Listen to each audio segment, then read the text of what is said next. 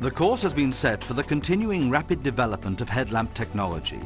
In the near future, lighting systems will be able to adjust even more intelligently to driving and environmental conditions.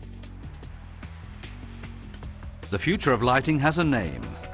VARILIS Adaptive Front Lighting System. These advanced front lighting systems recognize what drivers need in any situation. They provide optimum lighting for country roads, city streets, highways and adverse weather conditions, fully automatically.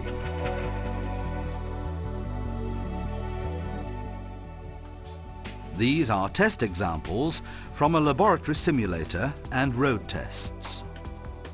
They show that the light of the future, which is even more advanced than the bend lighting already available, will adapt even better to traffic situations increased safety and more driving comfort, the better light has convincing arguments.